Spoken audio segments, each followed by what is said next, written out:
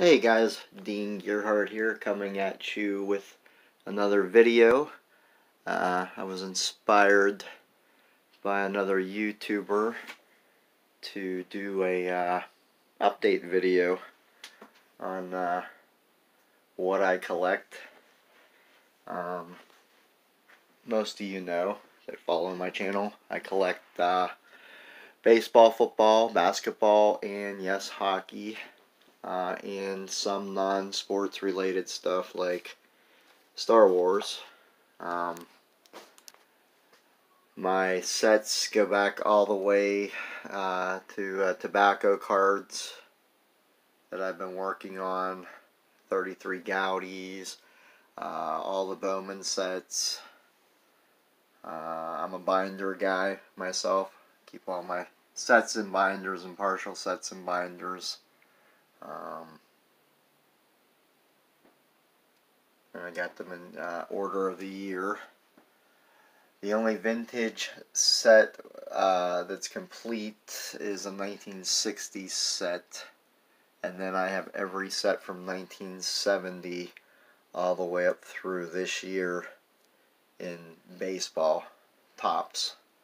Um, I don't have all the update or the traded sets. Uh, I think I leave off at 94. So I'm missing like 94 through 2011. Um, but then from 2012 up to present, I have all the update sets. So, but these are all baseball. They go all the way over to there. Then down here we have my football starts. Uh, Topps with the 55 Topps. Uh, the only completed set I have is the 1960 Topps set, and then I have from 1970 and 71. I have those complete 72. I just need a, about uh, eight or nine more high numbers for the football 72 football set, but then I have 73 all the way up through this year complete. Um, when Topps stopped doing the football set, I switched over to Donruss. So I have all those sets. It's a mess. Uh, if you look here, you see all these thumbtacks on the wall. This is where my Star Wars collection used to hang. Uh, last summer I sold off uh, almost my entire Star Wars collection. And I did uh, keep my loose original Star Wars figures but I did sell everything else off, but I still haven't taken down the thumbtacks yet. It's still kind of kind of tough for me to, to think about everything that I sold. But uh, eventually I'll get around to taking those down. Um, over here it's more football. This is like 57, 58, 59, 60, all the way up to 67. And then I have Bowman football actually. Over here, 48, 50, 51, all those there. I get the Philadelphia sets going, Fleer sets going. It's my T206 stack. My Pete Maravich rookie card. For that set that I have complete. My 53 Topps graded cards. Um, and we need one more card to finish this set, and that's the Mantle. It's on my list of things to do this year. Um, up here's some of my uh, wide pens. Just little projects I'd started. Different cards I'd picked up. Got uh, different unopened packs. I like to have an unopened pack of uh, the different football sets I have. Um, still picking these up because I didn't go through and do all that. Whoops. Anyways. Uh, let me see what else. Series 2 baseball. I picked up an extra little box of those. I heard they're pretty popular right now. Uh, I collect stickers. All four sports. These are ones I haven't opened yet. Um, These are my stickers. I like to put them in binders. I like to put, the sticker book in the front. And I like to put the stickers and pages. I like to keep the wrappers. I like to try to keep one unopened. These are not all complete. Some of them aren't even started yet, but I do have uh, some that are complete. I just, you know, like 81 football, 83 football, 84 football. These are all my baseball ones. 81 through 84 complete. Couple from the earlier, or the more recent years. see, I've got, uh, that's football. But, and then over here, the football continues from the 90s. Most of these I built uh, from packs. There's a few I did just go ahead and buy the sets. Um, I like to uh, put the wrappers in front. Uh, recently, uh, like for baseball, like when the, the 2020 Series 1 came out, I bought a couple packs just to open them, see what they look like. Uh, and I keep the wrappers. I try to get a hot hobby wrappers, and then I try to get uh, some retail also. And then I'll put those in front of the book. I'll probably just buy Series 1 and I'll just buy Series 2 and I'll buy the update. It's just a little too expensive now buying all the stuff that I buy. Uh, these are first year Bowman baseball from I think 89. I bought a uh, large collection of cards last year and I'm still going through it and uh, building sets. I quit collecting cards the year I graduated in uh, 88 so I missed all the you know all the sets from the 90s and uh, 2000s all the way up to like two, I got back into it in 2011 so I've been going back and building these sets. I mean yeah they're not worth anything but to me the the fun of it's building sets that's what I like to do in all the sports. Um, I also I used to collect uh, uh, players. Back uh, when I collected cards me and my friends we'd collect cards you know, back in the 80s when I was in high school. And uh, we did things a little different, or at least around here, we did things a little different. When uh, we collected our favorite player, we just kept getting the same card, as many as we could of the same card. One of my favorite players was uh, Rickey Henderson. I don't know if these are Rickey, yeah. So, anywhere I would go, you know, there's Topps Rickey Henderson.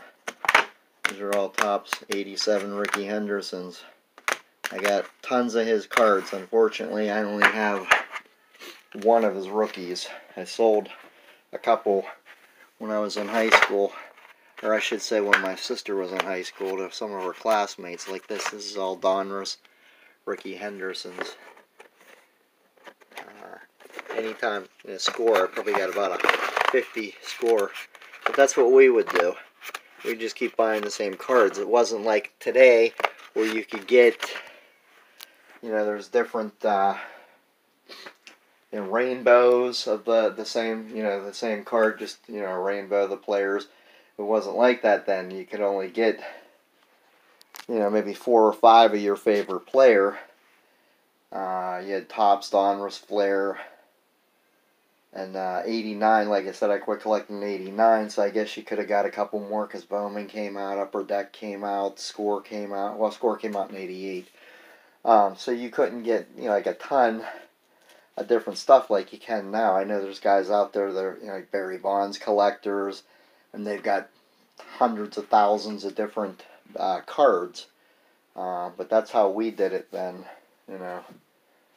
Uh, I got Rod Carews, Fred Lynns, guys I thought were going to be great players. Yeah, uh, well, they were great players. Uh, Dwight Gooden, for example, uh, we had tons of his cards. Uh, we were, you know, because we thought he was going to be the next big Hall of Famer.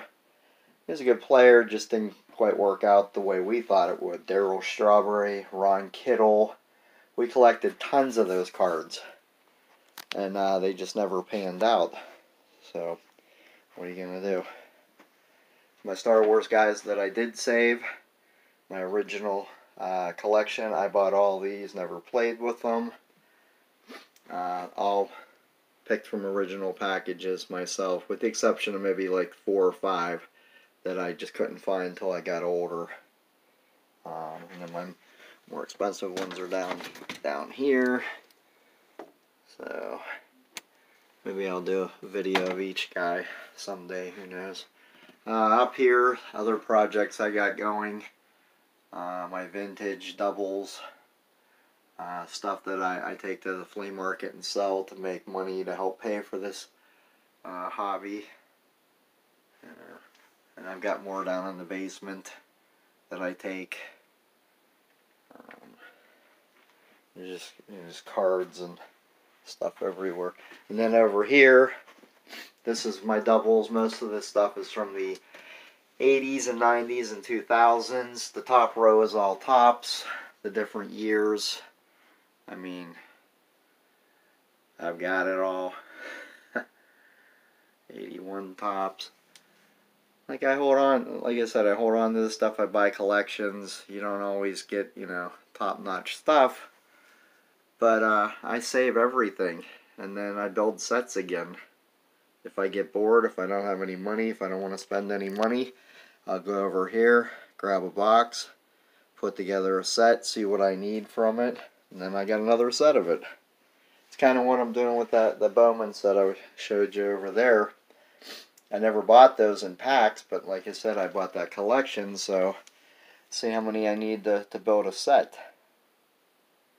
You know, I'll, end up spending more money, you know, probably filling in the cards I need um, than what the set is is worth. But but to me, it's not about what it's what it's worth. It's about uh, you know just having fun collecting cards, bringing back childhood memories, making new memories. Uh, I'm working on a, a set of cards with my son, Fortnite. I'm working on a set of cards with my daughter, uh, Stranger Things. But I think we're gonna switch to Garbage Pail Kids. But anyways, this baseball, down here's all the football, different years. Uh, if I have a ton of cards, they go in these big giant boxes.